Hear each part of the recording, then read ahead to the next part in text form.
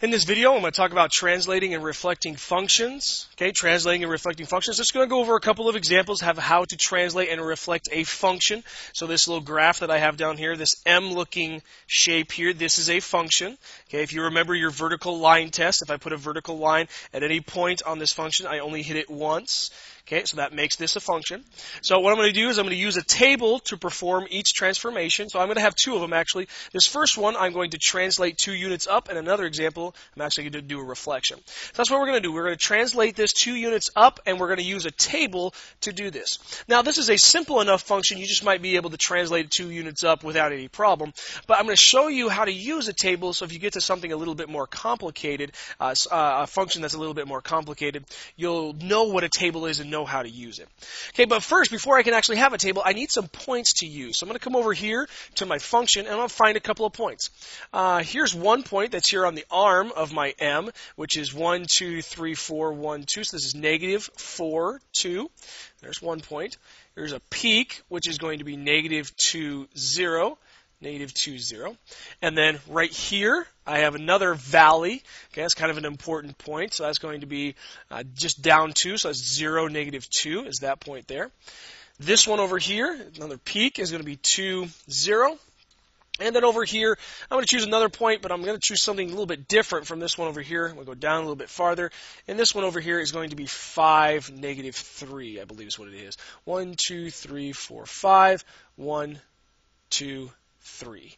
Yes, it is. Oh, I guess I messed up right here. My mistake. That's going to be a negative 2. Negative 4, negative 2. In the third quadrant, both the x and y coordinates got to be negative. Anyway, uh, over here, 5, 3. Just checking my points. Yep. Okay, now you might ask yourself, why would you need five points? Well, you need enough points to make an accurate table. Um, I just chose five because uh, the peak, the peaks, the valley, and then one arm over here, one arm over there. It kind of depends on what the function looks like. Sometimes you'll need two points, sometimes you'll need five, sometimes you'll need eight. It just kind of depends on what the function looks like. Okay, so I'm going to make my table. I'm going to make my table. This is going to be an x, y coordinate table, but I'm going to have an extra column over here. Okay, this extra column, we're going to figure out what we're going to do because when I translate when I translate a function, the x or the y coordinates are going to change.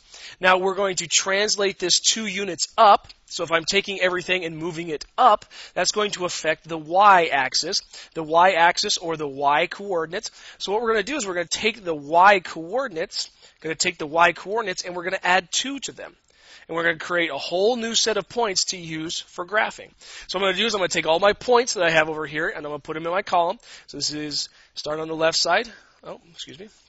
Okay, so negative 4, negative 4, negative 2, and negative 2, 0, and 0, negative 2, and 2, 0, and then also 5, negative 3. 5, negative 3. Okay, so what I'm going to do is I'm going to add 2 to the y coordinate, So I'm going to take negative 2 plus 2. And now you can see with this table, we, this is going to be very fast, very, very quick. Okay, so I'm going to take negative 2 and add 2 to it to get 0. I'm going to add 0 plus 2 to get 2. I'm going to take negative 2 plus 2 to get 0. I'm going to take 0 plus 2 to get 2. And I'm going to take negative 3 plus 2 to get negative 1. Okay, so what that does is this gives me a whole new set of y coordinates to use.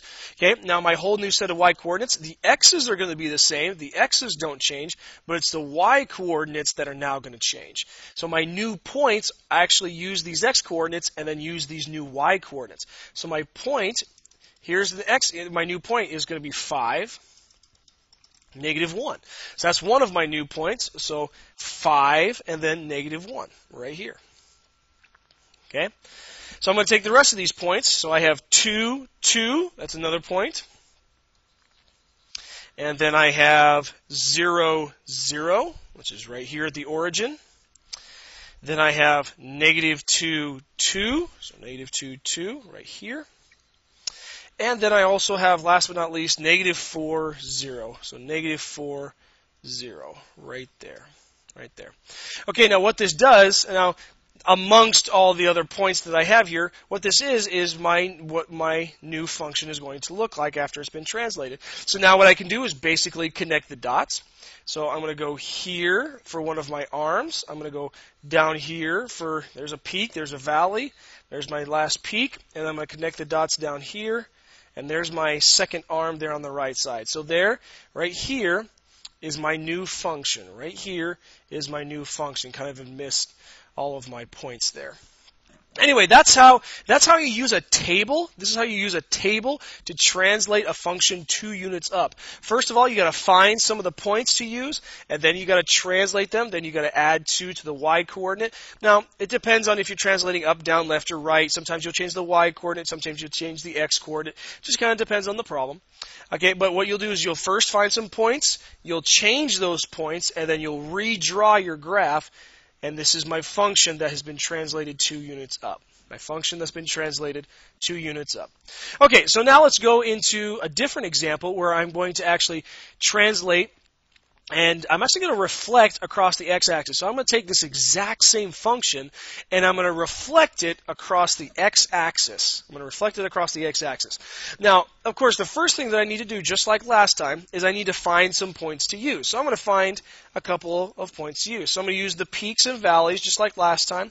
And then I'm also going to use um, a point on each one of these arms. I'm going to use the same points I used last time. So um, I'll label out these points again. So we have um, this is negative 4, negative 2.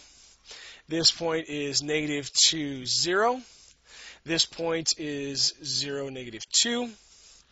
This point is 2, 0.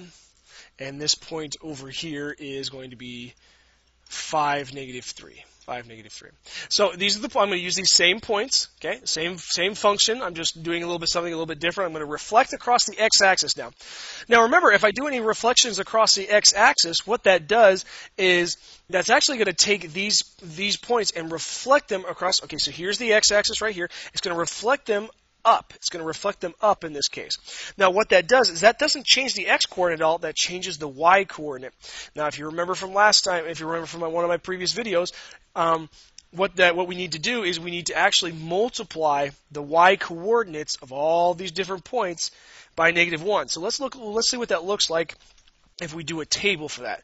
Okay, so I'm going to have my x y coordinates just like last time.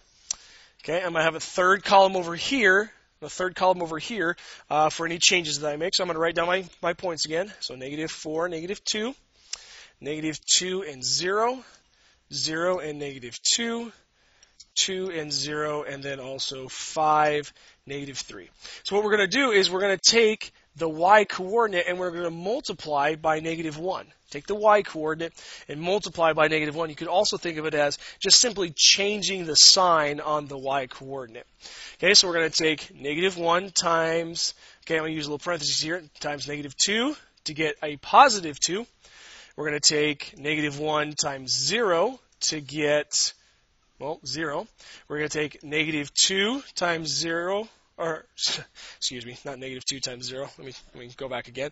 Got a little off track with my numbers there. One more time. Okay, so I'm going to take negative 1 times negative 2, which is going to get me 2. And I'm going to take negative 1 times 0 again to get 0. And I'm going to take negative 1 times negative 3 to get a positive 3.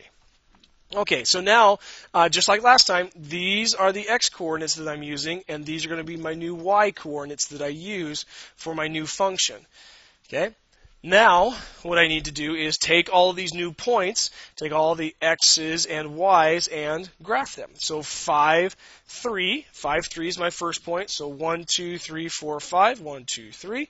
There's my first point. And then I have 2, 0, 2, 0. Hmm. Okay, looks like we're in that same spot right there. And then we are 0, 2. So 0, 1, 2 right here. And then we are at negative 2, 0. So negative 2, 0. Looks like we're at that point again. Hmm, see what this looks like in a minute. And then we also have negative 4, 2. So negative 1, negative 2, negative 3, negative 4, and then 1, 2 right there. Okay, so now I'm going to connect the dots. Little arm going out here, arm going out there, Peaks have now become valleys, valleys have now become peaks, and this is my function that has been reflected across the x-axis. So notice that points that are actually sitting on the x-axis, they kind of they just stayed where they're at. But other points got flipped. Notice that we got distance of 2, distance of 2. This point got flipped, distance of 2, distance of 2. And then this point here got flipped, distance of 3, and distance of 3. Okay, so that is um, that is uh, an example of reflecting a function, and this is also an example of kind of using a table to do that. Using a table to do that.